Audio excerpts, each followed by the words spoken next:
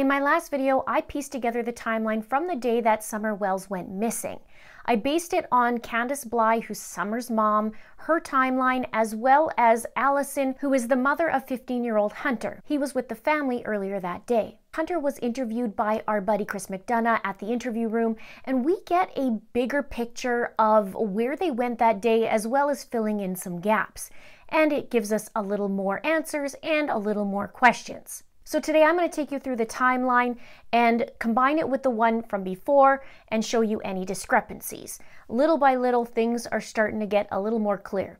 In the morning of Tuesday, June 15th, Hunter states that Candus texted Hunter and told him that Grandma was in the hospital. Then Hunter stated that he called Candus and asked if she wanted to come by and wait because Candus stated that it's going to be a while before Grandma gets out of the hospital. Candus said as long as it's okay with Allyson. Allyson said it's okay, but only for a little while because Hunter's grandmother is coming over to the house. Now, according to Allyson, she states that they live only five minutes away from the hospital. And the hospital where grandma was is called Holston Valley Medical Center. And it's about a 25 minute drive from the Wells home. So Candus said she'll be over to Hunter's house within 5 to 10 minutes. Now, Hunter states that he's not great with times, but he believes that Candus got over to the house around 11 o'clock. Allyson said previously that she believes that it was between 10 and 10.30. Candus pulls up, gets out of the vehicle with Summer, and Hunter states that it's been a while since he's seen them. Here's where it's interesting. He said he was told that Don had gone to work with the kids. And Chris asks to clarify who the kids were, and Hunter mentions two of the boys, not three, and he names the two oldest kids, but not the youngest brother who's nine. Now, I'm not sure if it was just a case that Hunter didn't finish his sentence, but it seemed like he did. So I'm curious as to where that youngest brother was at this point. But Allie said in a previous interview that the boys were staying home because they had to clean. So this is very interesting to me. Now, Hunter said that once Candus and Summer arrived, they all sat down for a bit and Summer changed into her bathing suit.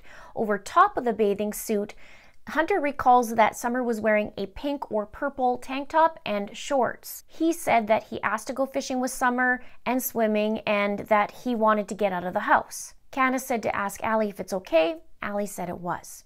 Hunter described Summer as excited to go fishing and swimming, and Hunter described his relationship to Summer as a sister brother relationship. He thought that Summer really liked him because he showed her a lot of attention, and he said he would give her piggybacks when Summer asked, and also he said that Summer's brothers weren't that great to her, so he said he wanted to show her what a real brother was like. He did say that the Wells family at one point treated their family like family and vice versa. Then Candus gets a call from the grandmother and says to come pick her up. So Candus, Hunter, and Summer head to the vehicle. Once they're at the vehicle, Hunter said they moved a box to the back of the truck, and then he also said they put another box in behind the front passenger seat. So it would be in the back seat. Now, Hunter said he sat in the front passenger seat, and Summer is sitting in the back seat behind the driver's side. Now, I do wonder if this is her usual spot when she goes and rides in the truck with or without her brothers. You know, I know sometimes, you know, siblings will fight to get their favorite spot, but I'm wondering if that's where she likes to sit. Hunter also notes in the interview that the milk jugs were not there at that point. They come in at a later time. Now, then they leave Hunter's place and they head towards the hospital. He said that they pick up Grandma, and then he said not even 10 minutes later they head to Walgreens. Now, from Holston Valley to Walgreens, which is located at Fort Henry and Moreland Drive, it's approximately a 15 minute drive away. Hunter states they go through the drive through and drop off the prescription and was told that it's going to be 30 to 35 minutes before the prescription is ready. And Hunter mentions there's a long lineup. Now, while in the drive through, Hunter states that Candus gets a call from Don. She tells everyone to be quiet in the truck. And Hunter states that Don tells Candus on the phone that there's been a guy on the property who has been there for about a week or so and he's stalking other kids. Hunter said at this point he's not sure if Don was working or not because he says if he was, then how would he know if there was a dude, his words, on the property and looking at little kids? I say good observation. He also states that Don typically does call Candus every couple hours or, or so to check in, and so Hunter thought he was doing his daily checkup, but did state that what Don had said was suspicious. I have a red flag going up at this point as well. So they finished going through the drive through at Walgreens, and Candus said that she had to go get cigarettes, so she goes to a discount tobacco store. And Hunter describes where it's located. He says it's near a Long John Silver's, a KFC, and also a McDonald's. And here's what I found. There's a discount tobacco and beer mart six minutes away from the Walgreens. But another interesting fact there's another discount tobacco store closer to the Walgreens and closer to Warriors Park. Now, you'd pass this discount tobacco store on the way to the other one, the one where Hunter said they went, but it's not a beer mart. So it's interesting to me that they choose the beer mart. We'll know why in a minute, and I'm sure you can guess. Now, at this point in the interview, Hunter actually describes where everyone was sitting. He said Grandma was in the front passenger seat, Summer was in the middle seat, and Hunter was on the side, which would be the left side because remember, they put the box in the right hand side be behind the passenger seat. So upon arrival at the tobacco store, Candus goes in, grabs cigarettes and puff bars, which is a nicotine vape, as described by Hunter. He states it's black and purple, and Candus has a blue Skittle one. Candus also buys a can of twisted tea. Just one of them, Hunter says. This is my guess why they went to the further tobacco store. So they leave the tobacco store and then they go towards the horse stable park, which in my last video I showed you where the area was, where the little swimming hole was. It's about a 10 minute drive. Now, Hunter states when they arrive, Grandma stays sitting in the car because she had to load minutes on her phone. Summer, Candus, and Hunter got out of the vehicle. Now, right when they get there, Hunter states that Candus gives him a twisted tea and said Candus didn't have any alcohol because she has to drive. He says that he and Candus actually share the vape together and watch TikToks. He said they were some funny videos, and Candus was also scrolling on Facebook. They were also chatting about what they did that week, how long it's been since they talked to each other, and were just chit chatting, as usual, he said. In the meantime, Summer was in the water swimming. Now, Candus does take a TikTok video as well. We did see that, and the timestamp was at 12:21 p.m. when that occurred. Now, when Grandma was done loading the minutes on her phone, she gets out of the vehicle and she starts to hang out with Hunter and Candus. Hunter states at that point they talk to him about a water park. Then Hunter goes on to talk about Summer being underwater, and he said he threw his shirt down and went into the water and grabbed Summer to see if she was okay. He said he did feel spooked, and he said he called her name, but he wasn't sure if she could actually hear him from under the water. He then said he pulled her up, threw over his shoulder, and asked if she was okay. She said yeah, and that she was just swimming. He estimates from the moment he saw that she was underwater till the time he went and grabbed her was about four or five seconds. Now, Allie stated earlier that Summer slid on a rock, went under the water, and then Hunter jumped in and grabbed her. Hunter did not explain anything about a rock at this point. He said when he turned, she was already underwater. Now, when Summer was underwater, Hunter states that Candus was talking to Grandma, and they were looking at flowers and saying how pretty they were. He did state that he doesn't know how long that Summer was underwater. He said it could have been longer or shorter. He said he wasn't sure. Then he said not even 15 minutes later, that they left to go pick up the prescription. Now, Candus also stated previously that they were only there for about 20 minutes at that swimming hole. So they walked back to the car with Summer, and Hunter said that Summer seemed normal. Now, in the interview, Hunter also talks about another set of clothes, and he says this when she got changed from swimming, they had bought her an outfit to put on because she's supposed to go to Jonesboro. I think, yeah, Jonesboro to go to this big water park. Now, this is a little confusing to me. First, where did she change? I'm just curious. Was it in the truck? Second, there's mention of this park, which is an hour away, and was Candus meeting someone there? Was she supposed to be going that day? Uh, was she just bringing her there and and no one else? It seems as though Hunter brought up this park again later on in the interview, but he mentions a different day. He says about the Friday.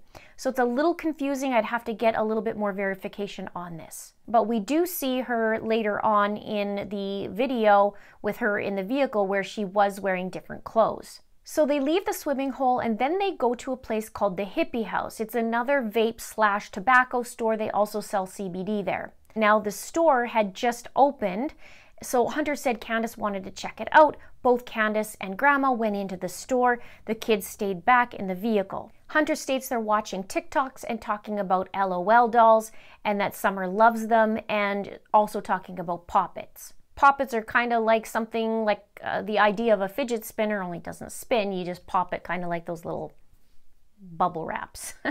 Candus and Grandma were in the store, according to Hunter, about five minutes, and then they came out and Candus had bought two more vapes, one for her, and she gave Hunter another one. They then headed back to Walgreens to pick up the prescription. That's about a quick three minute drive.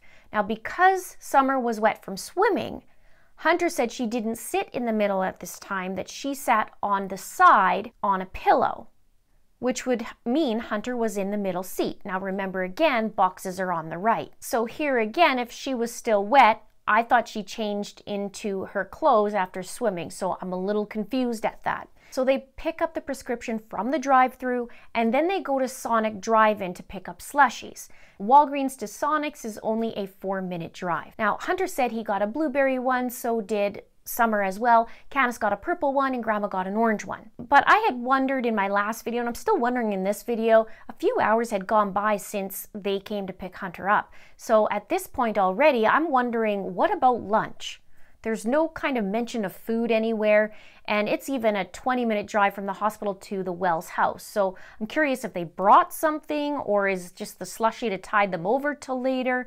Really curious about that. No mention of food. So according to Hunter, they drank these slushies in the vehicle and then headed to Priceless, which is a grocery store.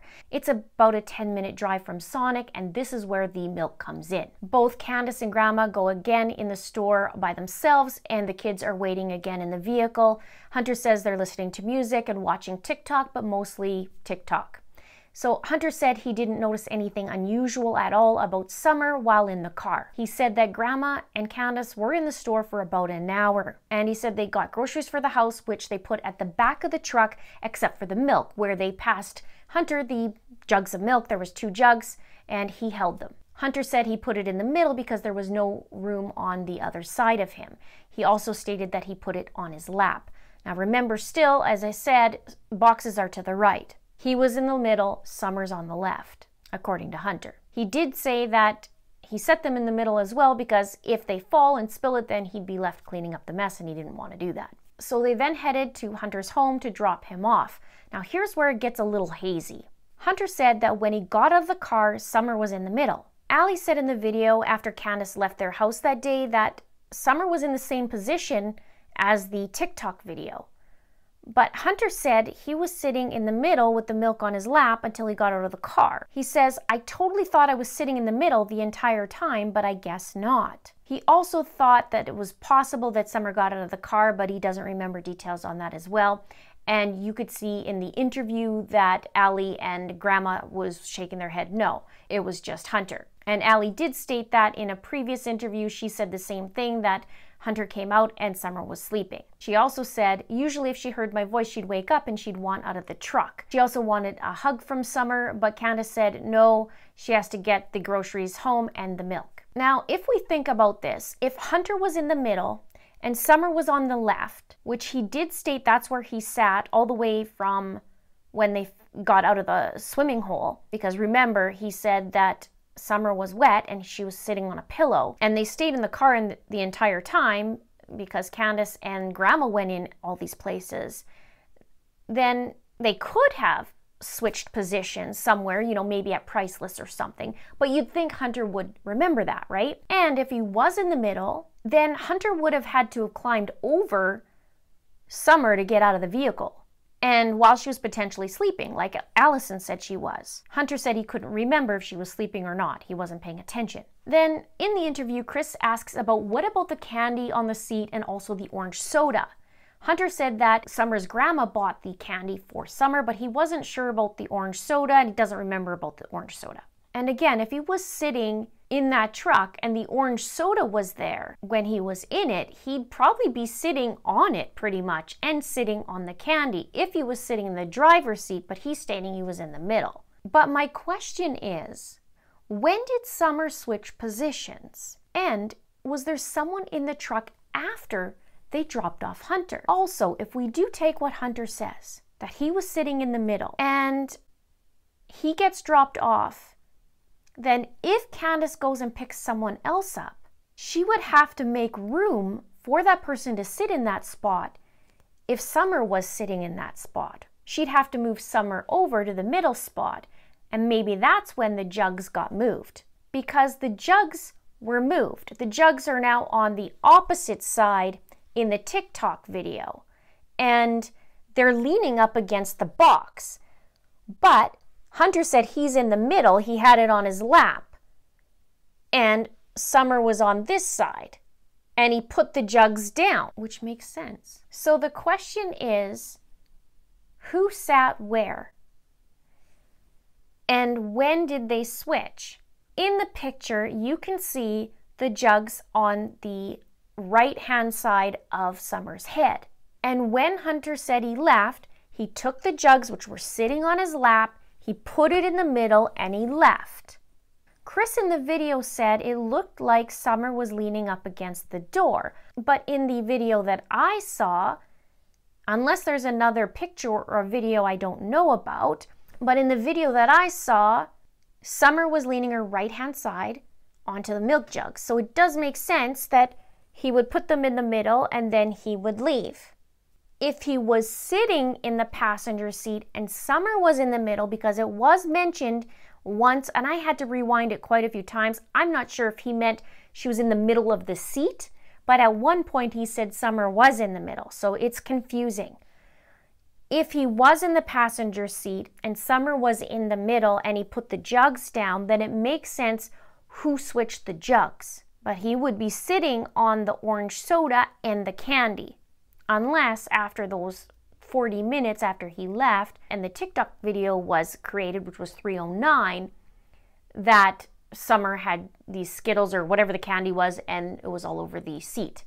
Or it just fell out while, she, while Candus was driving. Now, Hunter does say that he gets out of the car and goes to the front of the vehicle to get his vape that Candus bought for him and then goes into his house. Again, Ali says that this was around 2.30 p.m. So Candus leaves and that 3.09 p.m. video was taken and Summer had her head against these milk jugs. So the question that Chris keeps asking is, how did the milk get rearranged? Now, my question is, was there another stop? Remember, Hunter doesn't remember the orange soda. He only remembers candy given to Summer by Grandma, and then Hunter would be sitting on that candy possibly. Now, when we hear the video, the question was asked, Is her arm still up? And the answer was no.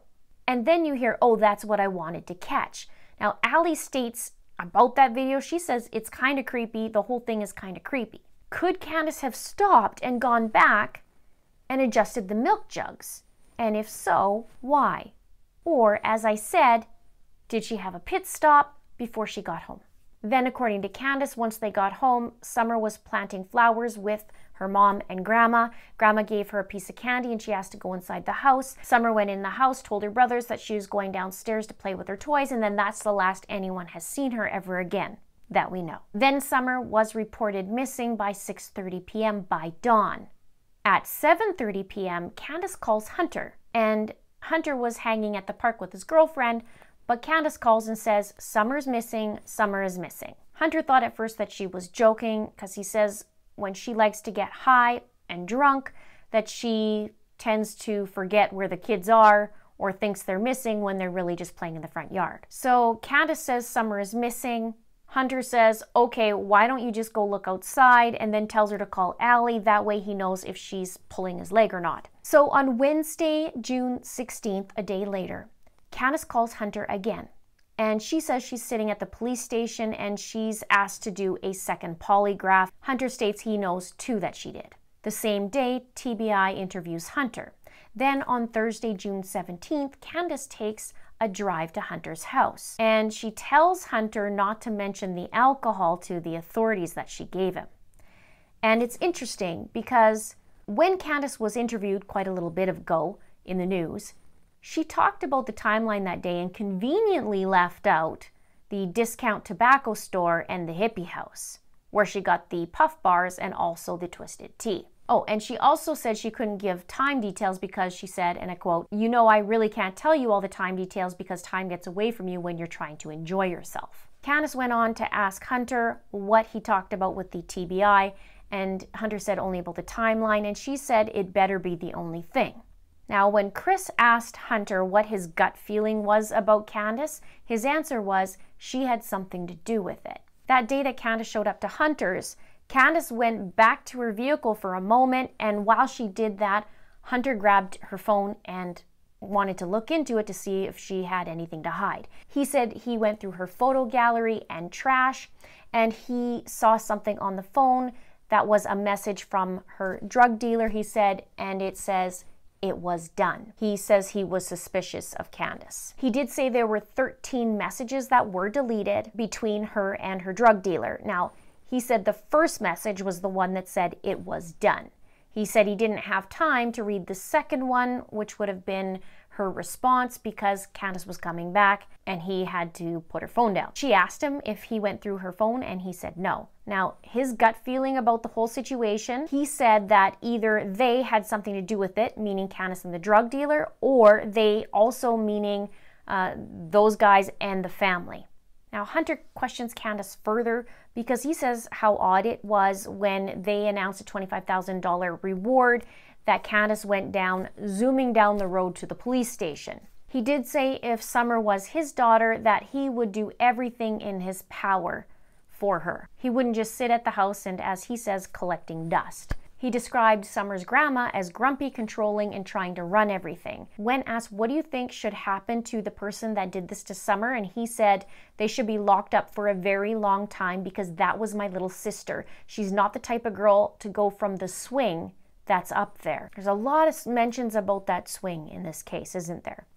So now we're left with some questions and a little more answers. But I'd like to know did Candus go straight home that day after Hunter was dropped off, or did she make another or a few more pit stops? What time did she actually arrive home? Was someone else sitting in that vehicle after they dropped Hunter off? And that's why the milk jugs were potentially rearranged, or were they? And Summer was now in the middle. Or was Summer in the middle before and Hunter was at the side the whole time. There's conflicting information. If the boys were home while Summer was planting flowers, but they were at work with Don earlier, then they'd most likely get a ride back by Don, one would think. And if that's the case, then what time did Don drop off the boys? And when did he get back to work? Because Don says that he was at work, got the call from Candus, and then came home. And why did Hunter only mention two boys that day, not the three brothers who went to work with Don? Was it that he just didn't finish his sentence? Or was it the only two that he thought that went? And what's the deleted messages all about? 13 messages deleted, and it said, it is done. I also wonder what the timestamp was on that as well. It'd be interesting, wouldn't it? Hunter also said, and I quote, I just know that they had to have done something because she did not walk off that property. That's all I know. Let's have a chit chat below. Let me know your thoughts. Keep it classy in the comments or it will be deleted or I will turn the comments off. Please subscribe if you haven't done so already. Please like and please share. Thank you so much for watching. See you soon.